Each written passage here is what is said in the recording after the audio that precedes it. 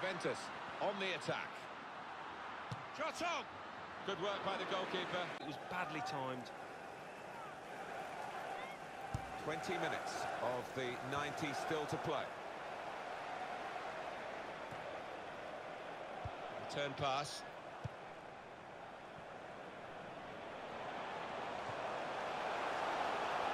Really on top of their game now.